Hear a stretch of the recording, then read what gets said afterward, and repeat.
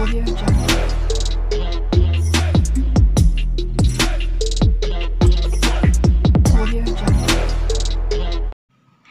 everyone welcome to my click and view channel ఎలా ఉన్నారు అండి? అందరూ బాగున్నారా? ఈరోజు వీడియోలో ఏంటి అంటే చాక్లెట్ స్పాంజ్ కేక్ అండి. ఎగ్ యూస్ చేయకుండా అలాగే పెరుగు కూడా యూస్ చేయకుండా మనకు ఓవెన్ అనేది యూస్ లేకుండా మనం చక్కగా ఇంట్లోనే ఇలాగ స్పాంజ్గా కేక్ అనేది ప్రిపేర్ చేసుకోవచ్చండి. చాలా అంటే చాలా పర్ఫెక్ట్గా వస్తుంది. మనం పర్ఫెక్ట్ కొలతలతో చేస్తే మీరు కనుక మన ఛానల్ని ఫస్ట్ టైం చూస్తుంటే సబ్స్క్రైబ్ చేయండి అలాగే ఇంకా చూస్తున్న వాళ్ళు సబ్స్క్రైబ్ చేయలేనట్లయితే సబ్స్క్రైబ్ చేయండి. ముందుగా మనం కేక్ మ్యాటర్ని ప్రిపేర్ చేసుకుందామండి. చూడండి ఇలాగా ఇప్పుడు నేను వన్ కప్ మైదా అనేది తీసుకుంటున్నాను. ఏ కప్పుతో తీసుకుంటామో ఆ కప్పుతోనే మనం పర్ఫెక్ట్గా అన్నీ తీసుకోవాలండి. అప్పుడు అన్నీ చక్కగా సరిపోతాయి. వన్ కప్ దాంట్లోకి వన్ స్పూన్ అనేది వెనిలా ఎసెన్స్ తీసుకుంటున్నాను.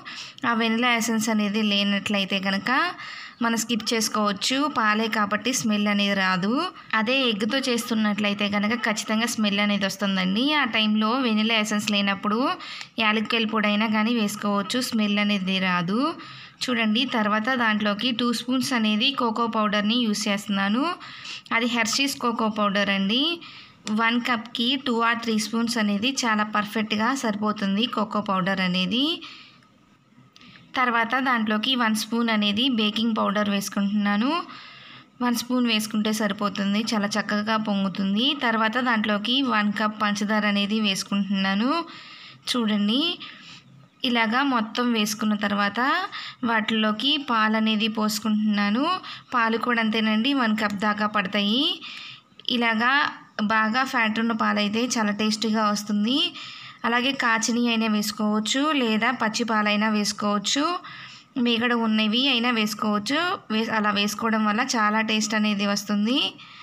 అలాగా ఆ కేక్ మ్యాటర్ని మనం పాలు పోసుకొని మొత్తం మిక్స్ అయ్యేలాగా కలుపుకోవాలి. కనీసం ఇలా కలపడానికి ఒక టెన్ ఆర్ ఫిఫ్టీన్ మినిట్స్ అనేది పడుతుందండి. ఆ మ్యాటర్ని మనం ఉండలు అనేది ఏమీ లేకుండా బాగా కలుపుకోవాలి. ఇప్పుడు మనకి కేక్ అనేది చాలా అంటే చాలా స్మాజీగా వస్తుంది చూడండి ఇలాగా మనం ఆ కేక్ మ్యాటర్ని కట్ అండ్ ఫోల్డ్ మెదర్లో మనం వాటిని కలుపుకోవాలి. ఒకే వైపుకి తిప్పుకోవాలన్నమాట. చూడండి ఇప్పుడైతే ఆ మ్యాటర్ అనేది రెడీ అయిపోయింది. చూడండి కేక్ అనేది ఇలా ఈ కన్సిస్టెన్సీలో ఉంటే చాలా పర్ఫెక్ట్గా వస్తుంది. మరి మనకి కలుపుకునేటప్పుడు పలచగా లేకుండా అలాగే బాగా తిక్కుగా లేకుండా ఇలా మీడియంలో ఉంటే చాలా పర్ఫెక్ట్గా వస్తుందండి.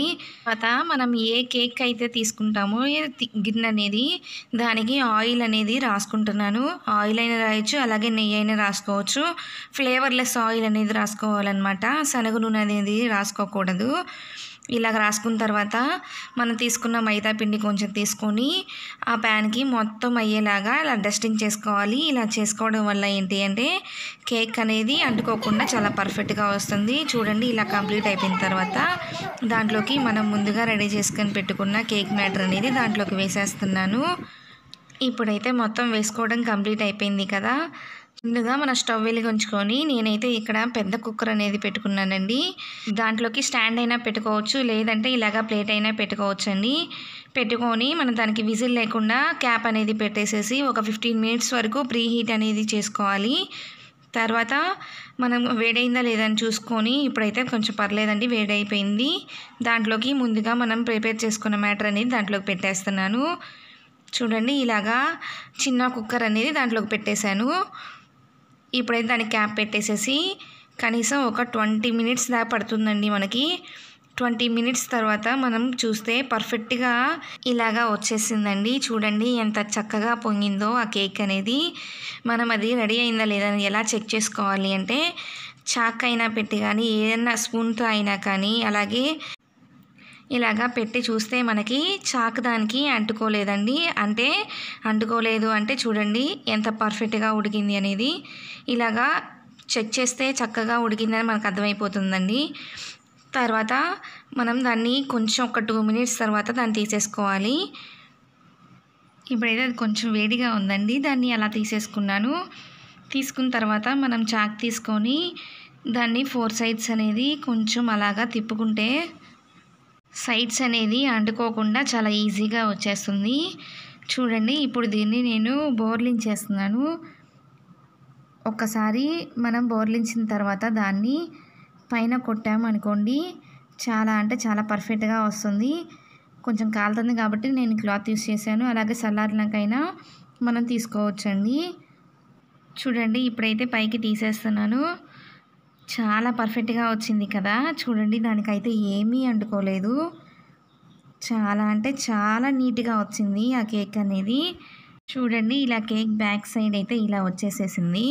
దాన్ని మనము రివర్స్లో తిప్పుకొని మనకు కావాల్సిన షేప్స్లో అనేది కట్ చేసుకోవచ్చండి. చూడండి చాలా చక్కగా రెడీ అయిపోయింది కదా చాక్లెట్ కేక్ అనేది. తప్పకుండా మీరు కూడా ట్రై చేయండి. చాలా పర్ఫెక్ట్గా వస్తుంది. ఇలాగా పర్ఫెక్ట్ కొలతలతో తీసుకున్నట్లయితే చాలా ఫ్లఫీగా వస్తుంది. అలాగే చాలా స్మూత్గా కూడా ఉంటుంది ఈ కేక్ అనేది. తప్పకుండా ట్రై చేయండి. థ్యాంక్స్ ఫర్ వాచింగ్ అండి. ఇలాంటి మరిన్ని వీడియోస్ కోసం మన ఛానల్ని తప్పకుండా సబ్స్క్రైబ్ చేయండి. అలాగే లైక్ చేయండి. షేర్ చేయండి. Thank you